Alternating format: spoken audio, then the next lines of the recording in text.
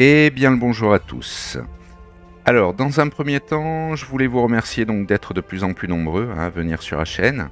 Euh, comme je vous le dis régulièrement, bon, n'hésitez pas à vous abonner, hein, c'est un petit clic pour vous et c'est quelque chose qui compte beaucoup pour moi. Et alors surtout, n'hésitez pas à bien regarder le descriptif de la vidéo parce que souvent je vous fais un petit résumé à la fin et euh, j'ai remarqué que bah, beaucoup d'entre vous ne, le voient pas, donc c'est euh, un peu dommage. Quoi. Donc là, sans plus attendre, euh, je vais vous présenter un jeu euh, qui s'appelle U-Boat. Alors, actuellement, il est en bêta. C'est la 1.31, enfin la, 131. Donc il est toujours considéré comme étant en early access. Vous pouvez le trouver sur Steam euh, aux alentours de 25 euros. À savoir que de temps en temps, il est en promotion. Donc ça peut, être une bonne affaire, surtout si vous aimez les simulateurs de sous-marins. Alors, euh, il a une note positive euh, sur Steam qui est aux alentours de 80%, ce qui est pas mal du tout.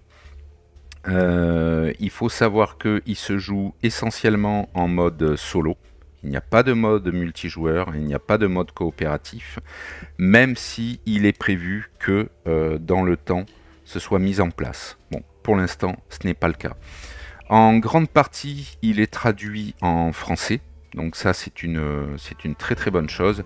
Même si de temps en temps, voilà, bon, il y a quelques petits bugs de, traduction, mais qui sont quand même rares. Après, voilà, il ne faut pas oublier qu'il est toujours en version euh, bêta. Alors, par rapport euh, aux développeurs, c'est un jeu qui est relativement suivi. Donc euh, c'est pas comme certains jeux où euh, voilà ils vous les sortent en early access et au bout d'un moment ils sont abandonnés.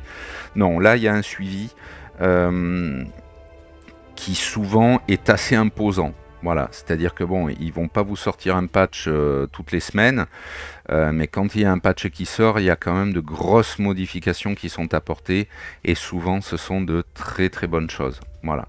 Alors, en ce qui concerne son développement, ce qui est prévu au cours de l'année c'est que euh, déjà, il devrait être euh, en release complète, donc il ne devrait plus être en early access avant la fin de l'année.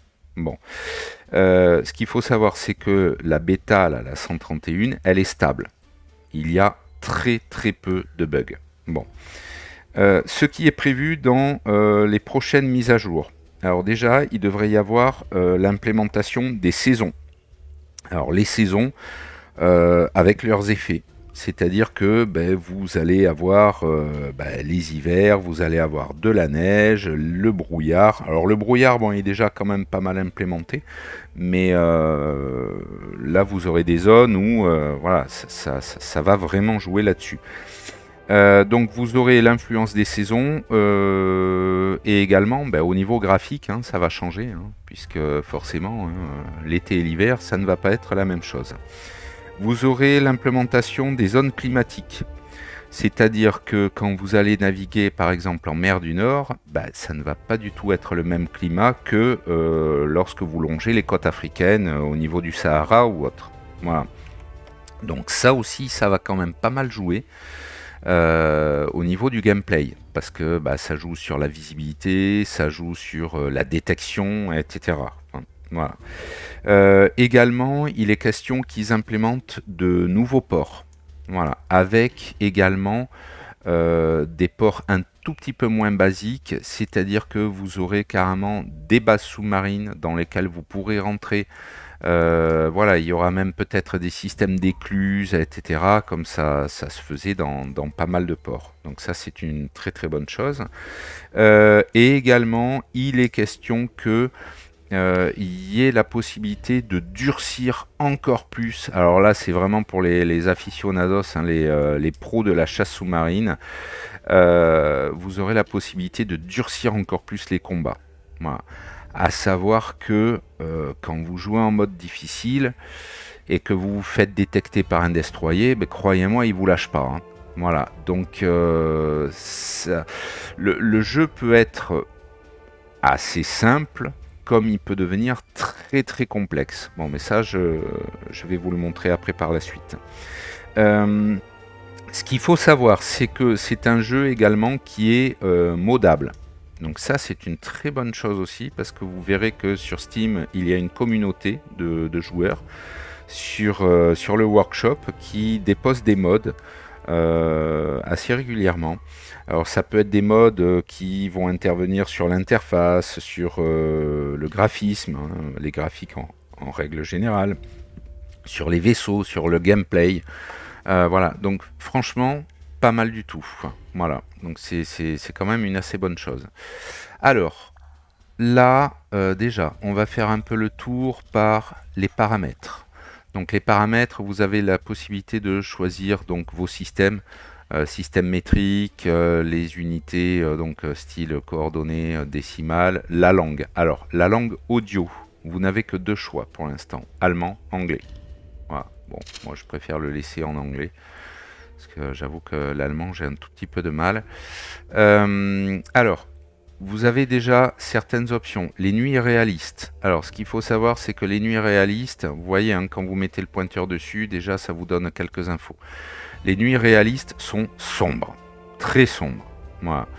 Euh, donc bon, ça après, hein, c'est à vous de voir hein, si vous voulez le mettre ou pas. Donc vous avez un principe de sauvegarde automatique si vous voulez. Euh, en matière de vidéo, donc là, vous avez quand même pas mal d'options qui vont vous permettre d'augmenter euh, la qualité. Voilà, soit jouer en plein écran, jouer en mode fenêtré ou autre. Euh, non, ça je vais le désactiver. quoi qu'on peut le laisser? Graphisme, donc là, hein, voilà, pareil, vous avez le choix. Euh, en matière de qualité. Bon, à savoir que moi, en matière, en matière de carte graphique, j'ai une 1080. Euh, voilà, il y a nettement mieux maintenant. Euh, je le fais tourner en extrême sans aucun problème. Voilà, donc vraiment, il est quand même bien optimisé. Il n'est pas trop trop gourmand. contrairement à d'autres simulateurs qui, eux, vous, mangent une quantité phénoménale de ressources. Là, c'est pas vraiment le cas il est quand même bien optimisé. Euh, au niveau audio, alors, euh, on va baisser un peu la musique, on va baisser le son principal aussi. Ok, vous avez même la possibilité de mettre des sous-titres, donc ce qui peut être pas mal, hein, puisqu'au niveau de la langue audio, je vous rappelle, c'est soit de l'allemand, soit de l'anglais. Euh, alors, les préférences. Donc là, vous avez tout ce qui est réglage en matière de sensibilité de souris, savoir avec quoi vous jouez, clavier souris. Euh, enfin bon, voilà, hein, il y a différents paramètres, comme d'hab. Là, vous avez les raccourcis clavier que vous avez la possibilité de changer si vous voulez. Voilà. Euh, donc là, ouais, c'est bon, hein, il est en, en AZERTY. Ok. Ça marche. Alors, maintenant, on va faire une nouvelle partie. Alors, vous avez la possibilité de choisir la flottille que vous allez intégrer. Alors, à savoir que ça va jouer sur votre lieu de départ et ça va jouer également sur le niveau de difficulté. Euh, alors, le début, vraiment le plus simple, c'est Port de la Rochelle, d'accord Puisque là, vous êtes face à toute la côte euh, atlantique et il est en difficulté normale. Après, vous avez d'autres ports. Euh, William Saven, par exemple. Alors, c'est un port, euh, il me semble, qui est situé, voilà, tout à fait au nord de l'Allemagne. Voilà. Donc, en gros, mer du Nord. Euh, vous avez, alors, celui-là, port de Kiel. Alors, si je ne me trompe pas, port de Kiel, il me semble qu'il est situé encore plus au nord. Voilà il est entre l'Allemagne et le Danemark. donc là, vous allez avoir toutes ces zones à, passer. Donc ça, c'était toujours en mode normal. Après, vous avez le mode difficile. Alors, là aussi, vous avez de nouveaux ports. Euh, port de la Spiesa. Donc là, c'est en Italie. Pas très loin de la Corse et tout. Donc là, vous allez être surtout sur la Méditerranée ce qui peut être sympa. Euh, maintenant, attention, hein. si vous devez passer le détroit de Gibraltar, sachez que c'est très très tendu. Euh, vous avez ce port, le port de Bergen, donc qui est en Norvège. Pareil, qui donne accès direct à la mer du Nord. Et là, on est toujours en mode difficile. Vous avez le port de La Rochelle en mode difficile. Vous avez après les modes très difficiles. Donc toujours port de La Rochelle et port de Bergen. Alors, ce qu'il faut savoir, c'est que quel que soit votre euh, départ, le sous-marin sera toujours le même. Vous aurez un type 7C. Voilà, type 7, euh, c'était les sous-marins les plus répandus pendant la Seconde Guerre mondiale, donc du côté allemand. Euh, c'était un sous-marin qui avait quand même une portée assez conséquente. qui était équipé de 4 tubes lance-torpilles à l'avant, un tube lance-torpille à l'arrière, un canon souvent qui était frontal, et également euh, un ou deux canons de euh, DCA. Voilà. Il avait, euh, alors je crois qu'il avait une capacité pour plonger qui était de 150 mètres, il me semble.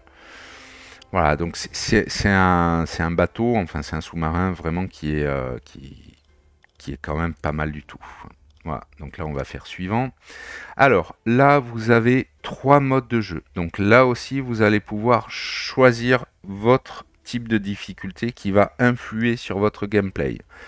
Vous avez le mode arcade. Alors le mode arcade, euh, franchement je vous le conseille, surtout si vous démarrez, si vous débutez dans les simulations sous-marines. D'accord? Après, vous allez apprendre pas mal de choses et au fur et à mesure, vous pourrez euh, vous dirigez donc sur des difficultés un peu plus élevées. Alors, à savoir que en mode arcade, euh, le personnel qui est à bord va pas mal vous aider. Euh, quand vous allez par exemple utiliser le système de ciblage de navire, vous verrez que vous pourrez mettre des personnes à ces postes-là qui vont vous aider à calculer les solutions de tir. Voilà. Alors que si vous choisissez en mode difficile, ça va être à vous de le faire. C'est-à-dire que ça va être à vous de calculer euh, la vitesse des navires ennemis, leur direction, donc euh, leur cap, et leur distance. Donc sachez que ça influe énormément sur le tir de torpille que vous allez faire. Même si souvent, à l'époque, ce qui se faisait, c'est qu'on faisait des, tirs de torpille en éventail. C'est-à-dire que l'on ne tirait pas forcément une torpille pour un navire, à moins vraiment que ce soit vraiment une cible très facile, c'est-à-dire un cargo qui euh, navigue à peine à 3 nœuds et qui change jamais de direction. Par contre, quand vous aviez des navires qui se déplaçaient à 15 nœuds ou plus et qui, euh, se déplaçaient en plus en zigzag pour éviter justement les attaques de sous-marins, là on faisait des attaques en éventail, c'est-à-dire que vous tiriez trois ou quatre torpilles euh, sur des angles différents, vraiment pour que au moins sur les quatre qui étaient tirés, il y en ait une ou deux qui frappent. Voilà. Donc là, vous avez euh, le choix euh, en matière de difficulté. Donc là, on va prendre, allez, arcade. Là également, vous avez un nouveau choix à faire. 1. Le minimal, c'est-à-dire que la gestion de l'équipage va être presque totalement automatisé. En intermédiaire, la gestion de l'équipage euh, nécessitera un peu votre attention dans certaines situations par exemple, vous pourrez mettre du personnel à la barre de plongée pour euh, descendre ou pour remonter plus rapidement votre, euh, navire. Euh, vous pourrez mettre du personnel dans la salle des machines pour augmenter la vitesse de votre navire, augmenter sa, sa, portée également, puisque quand vous mettrez du personnel dans la salle des machines, vous allez consommer moins de carburant, ainsi de suite. Et alors là, en mode expert, alors là, vous gérez carrément l'emploi du temps euh, de chacun de vos membres. C'est-à-dire qu'il y a le système des 3-8, hein, c'est-à-dire que toutes les, euh, toutes les 8 heures, hein, vous avez euh, un changement de quart. donc ça, c'est vraiment l'appareil pour les personnes assez, assez averties. Donc là, on revient sur les paramètres un peu globaux que vous allez, vous allez avoir la possibilité de changer. Alors, vous avez un système de didacticiel qui peut être pas mal. Vous pouvez à nouveau changer la langue en audio si vous le voulez. Euh, le mode de sauvegarde, vous pouvez le changer. Alors, le mode de jeu. Vous avez deux modes de jeu. Alors, vous avez le mode normal. Le mode normal, vous pouvez pardon, déplacer la vue un peu là où vous voulez et vous aurez des vues extérieures de votre navire. Voilà. Euh, si vous passez en vue subjective uniquement, alors là, ça vous donne un côté immersif nettement supérieur. Mais attention, ça euh, rend le jeu quand même plus compliqué. C'est-à-dire que vous n'aurez la vue que des yeux de votre commandant. Voilà, de votre personnel de bord. Mais vous n'aurez plus du tout de vue extérieure. Voilà. Donc, ça a un côté sympa.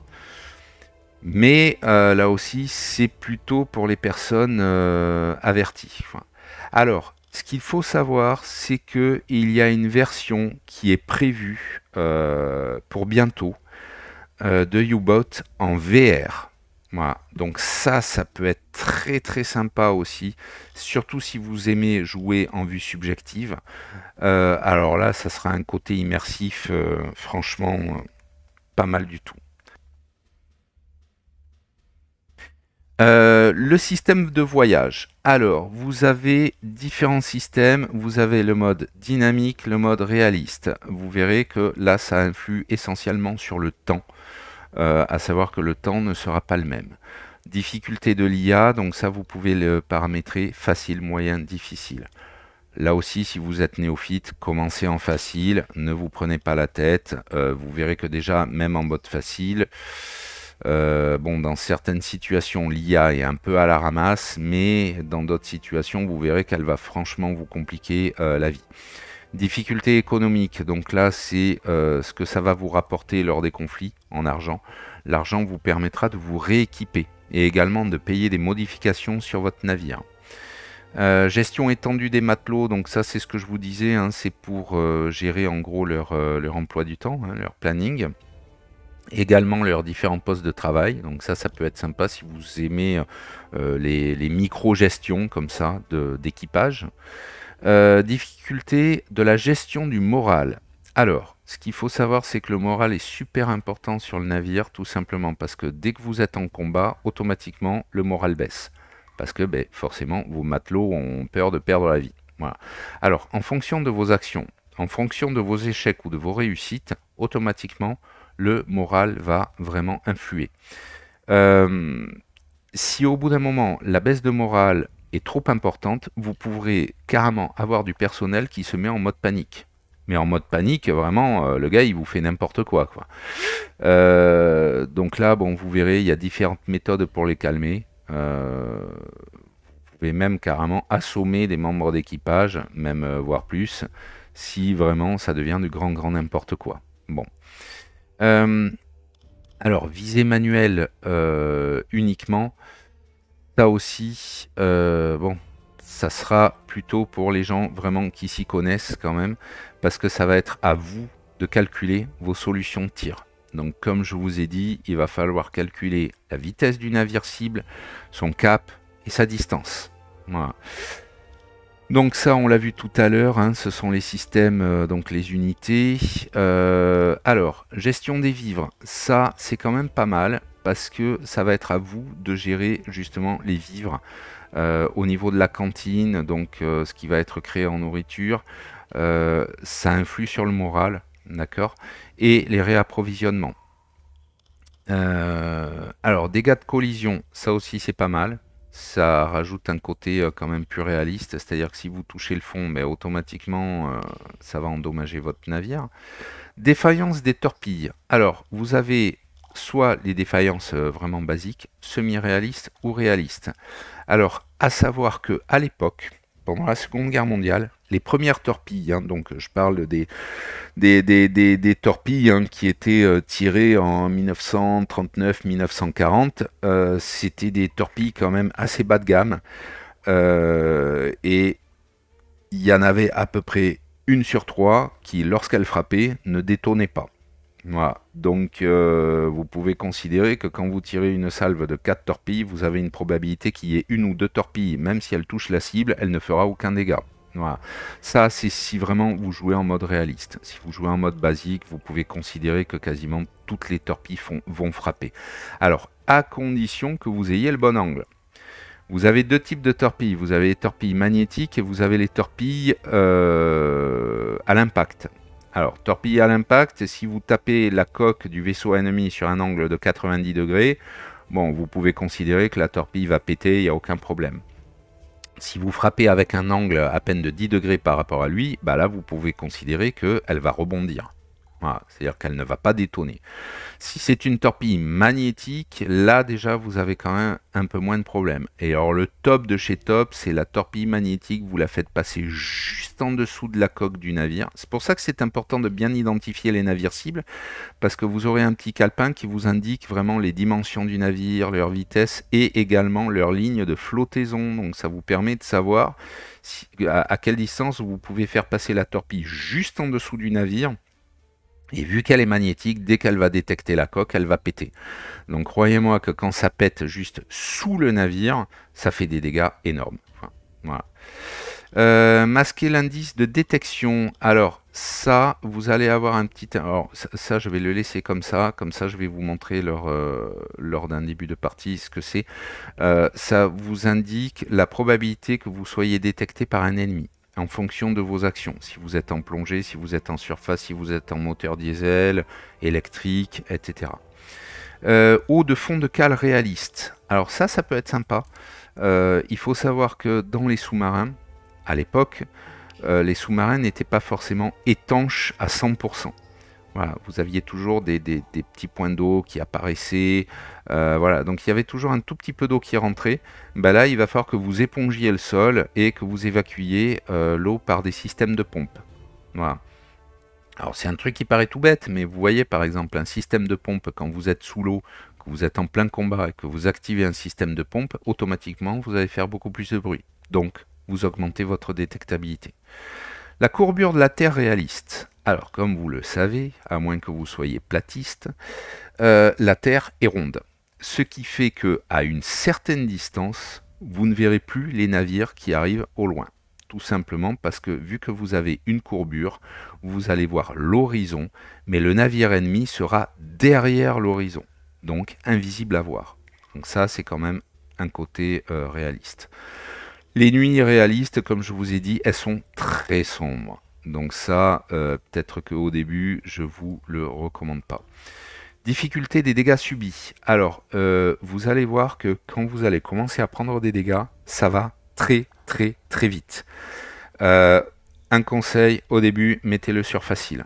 Surtout si vous n'avez pas trop trop l'habitude des, des simulateurs de sous-marins, parce que comme je vous ai dit, ça va aller très très vite. Vous allez avoir très certainement du personnel blessé. Il va falloir faire intervenir un infirmier. Il va falloir faire intervenir les matelots pour vite effectuer les réparations parce que l'eau rentre très très vite dans votre sous-marin. Surtout si vous êtes en plongée. Voilà. Alors ok, vous avez la possibilité de fermer des écoutilles. Euh, attention, il peut y avoir du personnel d'ailleurs coincé de l'autre côté. Donc vous risquez de perdre une partie de votre équipage. Enfin, tout ça, je, vous laisserai le découvrir. Alors, on va lancer une petite partie vite fait. Donc après, vous avez euh, la possibilité de customiser votre, votre personnage. Euh, donc savoir s'il va être plutôt musclé, corpulent, mince. Bon, pour l'instant, on va le laisser comme il est, peu importe. Vous pouvez choisir ses différents habits. D'accord? Donc ça aussi, je vous laisserai le découvrir. Pantalon, pareil. Hein, ah non, ouais, il n'y en a que deux. Soit le pantalon à bretelles, soit le pantalon noir. Vous avez les accessoires, donc 1 et 2. Hein. donc euh, là, par exemple, des jumelles. Euh, si je veux, je peux lui mettre euh, des lunettes. bon, voilà. casquette, ça, vous pouvez le changer. D'accord Bon, vu que c'est le capitaine, ben, on va lui laisser sa casquette de capitaine. Mais vous voyez, hein, on, peut, on peut lui mettre plein de trucs, si on veut bon, c'est des petits trucs en plus, hein, c'est assez marrant. Donc pareil, les cheveux, la barbe, euh, couleur des cheveux, le teint, etc. Et le type de visage. Bon, là, on va le laisser comme ça. On va changer son nom. Bouraburk. Ok.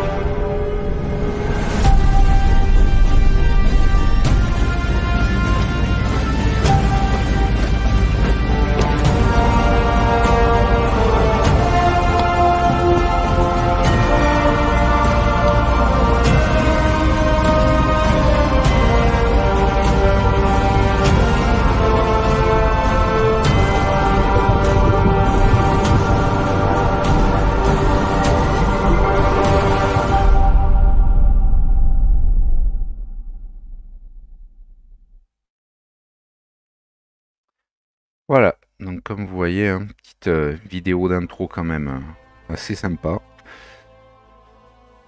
Donc là, on a pris euh, un début de partie, donc port de La Rochelle. Voilà. Bon, de toute façon, hein, je vais pas vous vraiment vous faire un gros début de partie, puisque là, c'est vraiment histoire de vous présenter un peu le, jeu et les différentes améliorations qui ont été portées ces derniers temps. Euh, aussi bien en termes de, gameplay que euh, au niveau graphique. Voilà, il y a quand même euh, des modifs qui ont été apportés. Alors le temps de chargement est toujours un tout petit peu long. Mais après ça se décante bien. À savoir que dans le jeu, vraiment lorsque vous êtes dans l'action et tout, je n'ai jamais eu de, freeze ou de plantage. D'ailleurs, je crois que je n'en ai jamais eu. Euh, de retour au bureau sauvage ou autre, euh, non. Donc c'est quand même, même s'il est toujours en bêta, il est quand même, euh, il est quand même bien bien stable.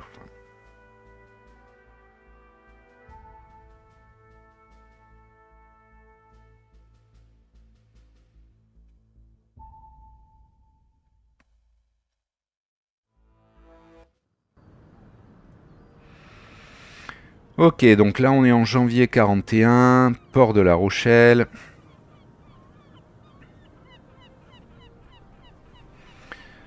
Donc là vous avez votre navire qui est taqué.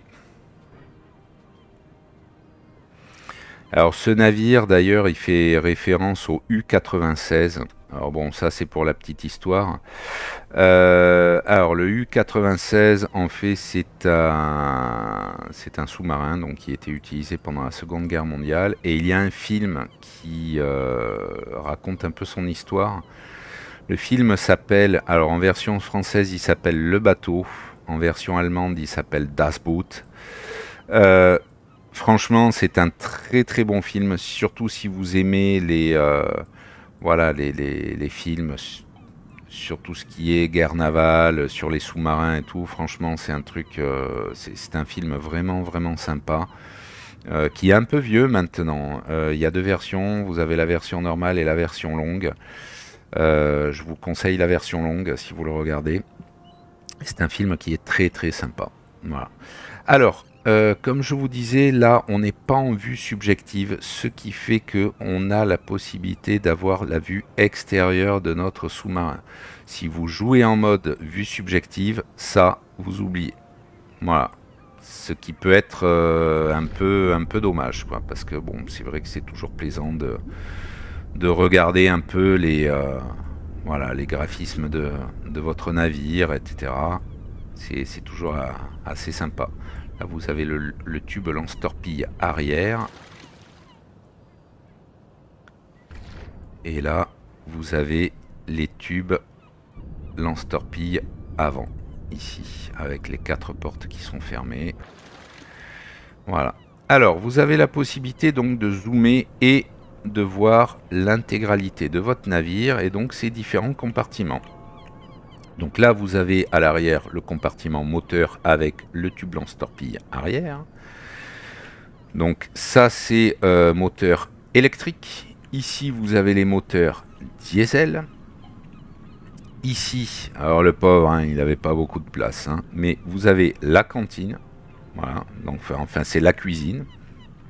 Donc là où le, cuistot hein, faisait sa tambouille. Et bien sûr, hein, histoire d'être tout confort, il était juste à côté des toilettes. Hein. C'est-à-dire que les toilettes étaient juste là. Euh, là, vous avez donc une première partie de dortoir, donc ce que l'on appelait les quartiers de l'équipage. Ici, vous avez le poste de commandement.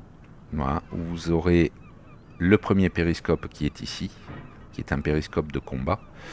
Euh, vous aurez ici les barres de plongée, ici les systèmes de pompe, le système pour connaître la profondeur. Là, vous aurez la gestion des alertes, etc. En haut, vous avez le kiosque, où là, vous aurez un autre euh, périscope qui est ici, qui est le périscope d'observation. Donc vous avez même la possibilité d'avoir une personne qui surveille au périscope d'attaque et une autre qui surveille au périscope d'observation, ce qui peut vous permettre de calculer encore plus vite des solutions de tir. Ici vous avez les postes d'écoute, donc là vous avez le système radio, où vous pourrez euh, recevoir différentes fréquences. Ici vous avez le poste sonar, Ici, vous avez donc une partie euh, également quartier d'équipage. Alors là, c'est plutôt officier. Voilà, parce qu'ils ont une vraie banquette isolée, etc. Euh, là, vous avez toujours euh, des banquettes pour les membres d'équipage et les quatre tubes lance-torpilles à l'avant. Voilà. Euh, au niveau du port, alors, ce qu'il faut savoir, c'est que vous avez ici l'entrepôt où vous allez avoir la possibilité d'acheter du matériel. Donc vous allez avoir l'équipement. Euh, donc vous pouvez acheter des euh, systèmes de réparation et également des trousses médicales. Vous allez avoir la possibilité d'acheter des munitions. Ça, c'est pour votre canon extérieur. Ça, c'est pour euh, la DCA. D'accord? Ici, le carburant. Donc, par exemple, faire le plein du navire. Bon, ça, vous verrez, hein, ça coûte pas bien cher. Euh, ça a eu lieu d'ailleurs, euh, ça a donné lieu à quelques discussions hein, sur les forums hein, où il y avait des joueurs qui estimaient que franchement, euh, voilà, un, billet la tonne, aujourd'hui ça fait rêver. Hein.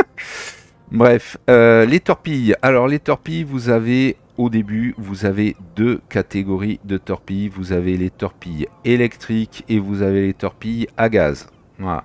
Alors les torpilles à gaz, elles sont plus rapides, elles ont une portée un peu plus efficace. Par contre, elles ont un petit problème, c'est que vu qu'elles relâchent du gaz, automatiquement, vous avez une traînée de bulles qui apparaît à la surface. Donc, les navires ennemis peuvent les détecter facilement. Torpilles électriques, vous ne pouvez pas régler la vitesse, elles ont une portée plus faible. Par contre, l'avantage, c'est qu'elles ne font pas de traces. Voilà. Donc ça, c'est euh, vous qui voyez, suivant votre manière de jouer. Les objets. Alors, vous avez la possibilité d'acheter un scaphandre, scaphandre qui va vous permettre de plonger euh, en sortant donc de votre navire pour aller fouiller des épaves. Ça, euh, les tasses de café, ça va permettre de rebooster un peu l'endurance de euh, vos différents officiers. Alors surtout de vous. Voilà. le casque et carabine et grenade, ça c'est si vous allez vous battre en prenant directement à l'abordage un autre navire. Voilà. Ok, donc ça c'est ce qui concerne euh, l'entrepôt. Vous aurez la possibilité également dans l'entrepôt d'améliorer votre navire après avoir effectué des recherches. Là pour l'instant je n'en ai pas effectué, mais sachez que vous pourrez améliorer vos systèmes d'écoute, vous pourrez améliorer euh, par exemple, que je ne me trompe pas, vos moteurs, les moteurs électriques, euh, les moteurs diesel, pardon, les moteurs électriques. Vous aurez la possibilité également d'améliorer euh, les toilettes. Parce que, alors là aussi, quand vous allez faire vos recherches, vous aurez un petit descriptif. Vous verrez que il y a des sous-marins qui ont coulé pendant la guerre, tout simplement à cause des toilette. Parce que quand vous êtes en plongée, bah, l'utilisation de la chasse d'eau était quand même très très spécifique. Voilà. Et il y avait des moments, bah, l'eau de mer rentrait directement par les toilettes si vous faisiez la mauvaise manip et vous pouviez faire couler carrément le sous-marin à cause de ça. Euh, enfin bon, vous verrez, hein, il y, a, pas mal d'améliorations euh, disponibles. Vous aurez le schnorkel aussi. Alors le schnorkel, franchement, c'est pas mal du tout. C'est-à-dire que c'est un énorme tuyau qui sort de votre sous-marin. C'est comme un, tuyau d'échappement. Donc vous aurez la possibilité en plongée d'utiliser vos moteurs diesel. Donc ça, c'est quand même très très utile parce que ça diminue votre détectabilité sans euh, utiliser vos moteurs électriques. Voilà. Euh, toujours alors sur l'extérieur, vous allez avoir ici l'officier principal, donc qui va vous permettre euh, soit d'envoyer votre équipage à l'entraînement. Ça, ça peut être pas mal en retour de mission ou autre. Euh, le quartier général. Alors, le quartier général, c'est là où vous allez faire vos différentes recherches. Voilà. Euh, là, par exemple, pour avoir un détecteur de radar, les schnorkels. Production d'équipement, donc avoir un peu plus d'équipement quand vous rentrez au port. Les leurres anti-sonar, les toilettes améliorées, les accumulateurs, donc ça sont les batteries lorsque vous êtes sur euh, l'électrique. Le kiosque blindé, donc ça c'est quand vous êtes en surface que vous vous faites attaquer par des avions, et croyez-moi ça va arriver souvent. Euh, production de munitions, enfin bon, je, vous laisse découvrir, hein, vous, verrez ça, hein, les torpilles améliorées, etc. Bon, donc il y a pas mal de, recherches disponibles. Euh, les ordres de l'amirauté. Alors ça c'est la dernière petite chose, vous allez voir les ordres de l'amirauté il y a euh, alors plusieurs scénarios qui vont vous être proposés. Hein. Par exemple là, le trou noir. Donc vous aurez la possibilité, si vous effectuez ces missions-là, de récupérer plus de 6000. Euh, vous allez avoir une récompense d'influence de 100%. Et vache aller, alors ça c'est pour avoir du réapprovisionnement lorsque vous êtes en mer vous verrez, il y a différents types de scénarios. Vous en avez à Gibraltar, vous en avez en pleine Atlantique, des attaques de convois, vous en avez autour de l'Angleterre, etc. Enfin, franchement, c'est pas mal. Et bien sûr, ben, suivant le type de mission que vous allez choisir, vous aurez des euh, niveaux de difficulté plus ou moins euh, élevés. vous aurez du mode facile, vous aurez du mode moyen et du mode difficile. N'hésitez pas à sauvegarder quand même assez régulièrement. Voilà. Euh, là, vous aviez par exemple la récupération de l'Enigma. L'Enigma, c'était la machine qui permettait de communiquer. Euh, donc, c'était la machine de codage hein, des Allemands. Et euh, d'ailleurs, où leur code bah, avait été capturé par, par les Américains et avait été déchiffré par les Anglais il me semble. Euh, d'ailleurs, vous avez un film hein, là-dessus, je ne me souviens plus son nom, mais du, type qui a réussi justement à déceler le, codage de la machine euh, Enigma, euh, qui, était franchement pas mal du tout. Voilà. Et ça a été d'ailleurs les prémices hein, des, ordinateurs, hein, parce qu'il avait créé une machine énorme qui s'apparentait à un ordinateur. Dernière petite chose, vous avez le recrutement ici, donc vous aurez la possibilité de recruter des matelots. Euh, alors, par exemple, alors vous avez la possibilité de voir les fiches des, euh, équipages disponibles. Euh, voilà, hein, vous avez un petit historique, etc. Alors là, je veux choisir mon équipage. Donc vous voyez que là, bon, j'ai mes 5 officiers, 5 sur 5, donc je ne peux pas plus. Par contre, j'ai 16 matelots sur 18. Donc j'ai la possibilité, si je le désire, euh, bah, d'en prendre d'autres. Voilà, je peux prendre celui-là et celui-là. Voilà, je les fais embarquer, ainsi de suite. Vous aurez la possibilité de choisir euh, les horaires de quart. Voilà. Donc matin, soir, nuit. C'est la même chose pour vos officiers. Vous avez la possibilité de choisir leur disponibilité. Quand c'est en grisé, ça veut dire que bah, dès qu'ils ont la possibilité, ils vont bosser. Ça, ce sont les tâches disponibles. Donc vous verrez, euh, ce sont les différents postes euh, qui sont disponibles. Donc là, par exemple, ça va être donc les ordres de, capitaine, ça, ça va être l'observation, la gestion de la DCA, la gestion de la cartographie. Là, c'est plutôt euh, se distraire, hein, jouer, etc. Donc se remonter le moral. Utiliser euh, le canon extérieur, les recharges de canon, recharge de torpilles, chauffage de torpilles, maintenance de torpilles, ça, c'est pour tout ce qui est réparation, gestion, moteur. Ça aussi, c'est pour fabriquer des systèmes de réparation. Et là, on a les systèmes d'écoute. Donc, écoute sonar, écoute radio, infirmier. Donc là, vous pouvez euh, prendre un de vos officiers, le mettre en infirmier. Euh, cuisinier, voilà, cuisinier de secours. Et ça, c'est le repos. Hein. donc ça, forcément, ils gèrent tous hein, le repos. Il hein. n'y a, a, pas de souci. Voilà. Et donc là, vous avez la possibilité également, si vous le voulez, euh, d'attribuer plus ou moins de matelots à vos membres d'équipage. Voilà. Donc,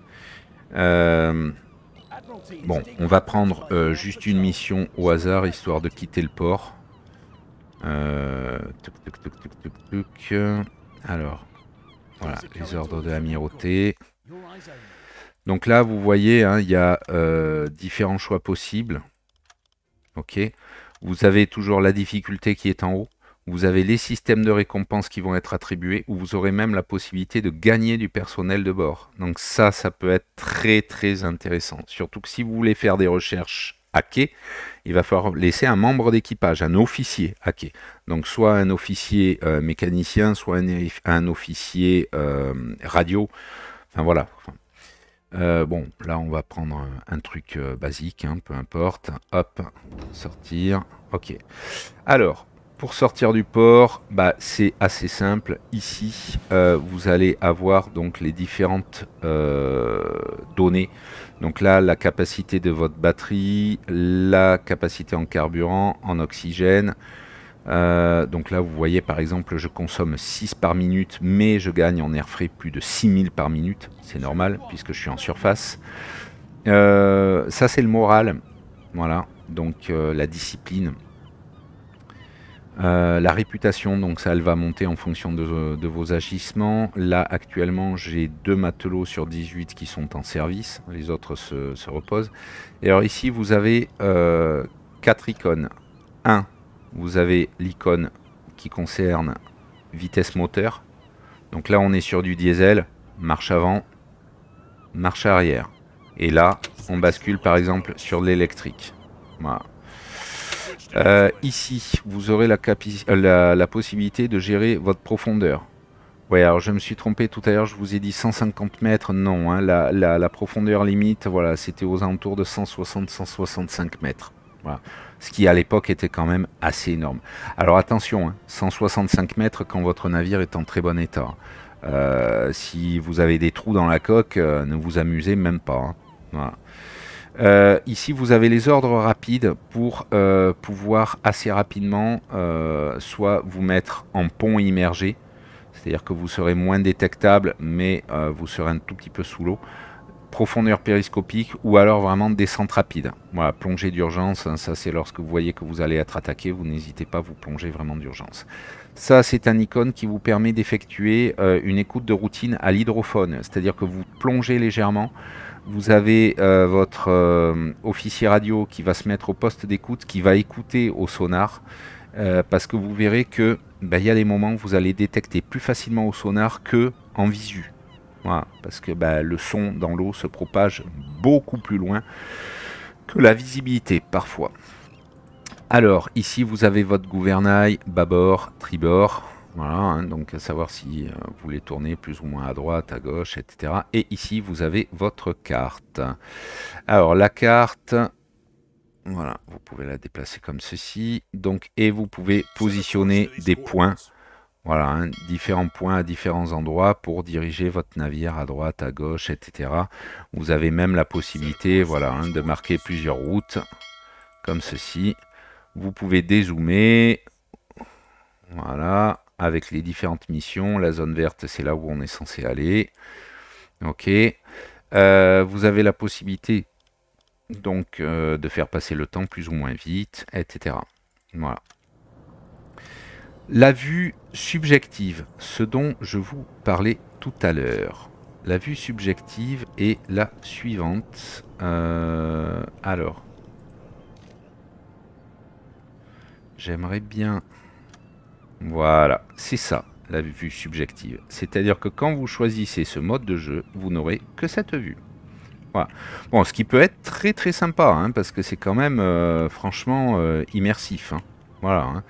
Euh, là, si vous voulez, vous pouvez aller à l'avant de votre navire. Alors, voilà, descendre, tac, tac, tac.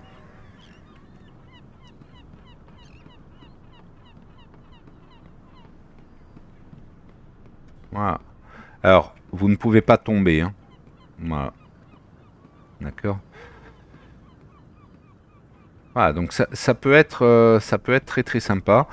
Et, euh, mais bon, je le, conseille quand même à des joueurs un peu euh, expérimentés. Voilà, là par exemple, je peux prendre directement le contrôle du canon si je veux. Voilà, c'est tout à fait possible. Voilà. Voilà, je quitte le poste. Ok. Alors, là on va revenir à une vue normale. Ok. Donc ici, hein, vous avez vos différents officiers. Donc ça, c'est votre personnage. Là, ça, c'est mon officier euh, moteur. D'accord? Ici, officier radio. Donc vous avez les petits symboles. Hein. Officier mécanicien, j'en ai un autre ici, officier mécanicien. Donc j'en ai deux. Je n'ai qu'un seul officier radio. Et j'ai un euh, deuxième commandant. Voilà, qui peut prendre euh, ma relève au moment où moi je, me repose. Vous avez la possibilité également de gérer en commande rapide par la touche Tab. Euh, vos différents personnages, là par exemple, ben, euh, que si je veux l'envoyer euh, à l'écoute sonar, hop, je l'envoie à l'écoute sonar. Donc là, le petit symbole ici précise qu'il est en train de se déplacer. Lui, je veux qu'il aille se reposer, hop, je l'envoie au repos. Euh, lui, je veux qu'il aille jouer aux cartes. Euh, voilà, à la table 1, hop, il va aller jouer aux cartes. Et ainsi de suite. Donc voilà, vous pouvez vraiment gérer chacun de vos membres d'équipage. Ici, vous avez la possibilité d'avoir des commandes rapides également. Alors, projecteur, c'est un éclairage extérieur. Euh, ça, si vous l'utilisez, utilisez-le essentiellement en zone euh, amie. Parce que alors là, pour vous faire détecter en pleine mer, il n'y a rien de mieux. Le système de ventilation, ça c'est pour renouveler l'oxygène lorsque vous êtes en plongée. Euh, système de pompe, ben ça c'est pour évacuer l'eau vers l'extérieur. Compresseur électrique, ça c'est pour recharger vos quantités d'air. Alors, quantité d'air pas respirable, hein. quantité d'air des ballasts. Parce que si vous n'avez plus d'air dans les ballasts, vous ne pourrez plus remonter. Donc ça c'est pour recharger vos ballasts avec le moteur électrique, ça avec le moteur diesel. Vous avez trois types d'éclairage à bord de votre navire. Vous avez l'éclairage normal, l'éclairage rouge, ça c'est un éclairage qui souvent est utilisé euh, quand on est en combat. Et l'éclairage bleu, ça c'est quand vous êtes euh, en combat et que vous basculez sur le mode silencieux. C'est-à-dire que personne ne doit faire de bruit. Vous avez la possibilité de fermer toutes les cloisons, si vous voulez. Euh, ce qui peut être quand même assez utile lorsque vous êtes euh, en attaque et que euh, ben, vous risquez vous faire torpiller à tout moment. Si un secteur est touché, par exemple le compartiment des torpilles avant, il n'y aura que ce secteur-là qui sera inondé. Puisque la cloison sera fermée. Donc automatiquement, ça évite la propagation d'eau. Voilà. Bon, bah écoutez, je crois avoir fait un peu, euh, tout le tour. Euh, Ouais, bon, ici vous avez donc votre boussole. Euh... Ah oui, non, dernière petite chose, c'est vrai que je ne vous ai pas que je ne vous ai pas montré, c'est le périscope. Alors, le périscope, par exemple, euh, nous, on va se mettre au périscope d'observation.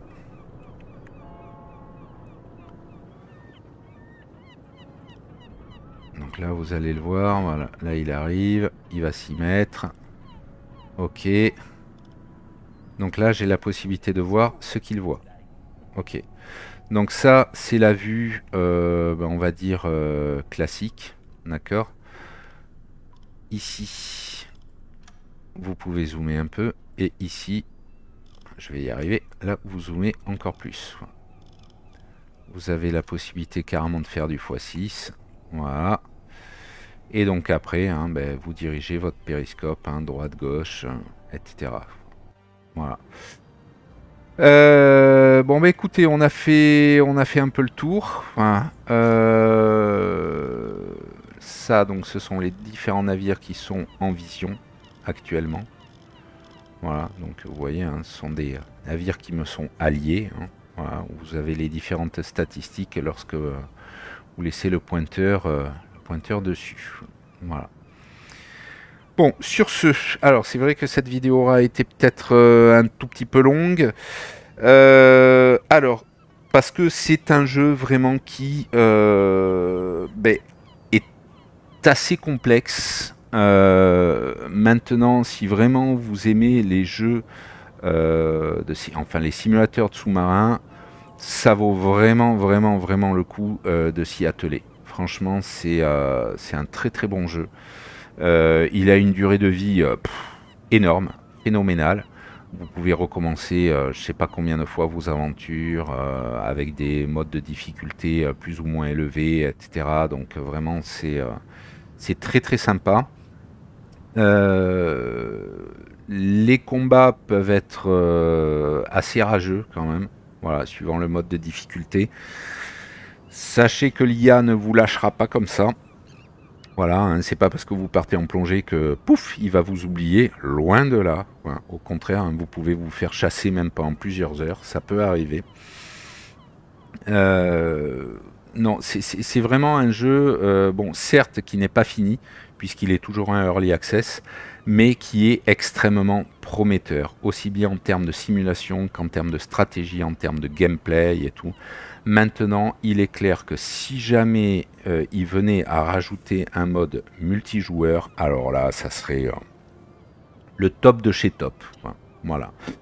Je vous le conseille vivement. Voilà.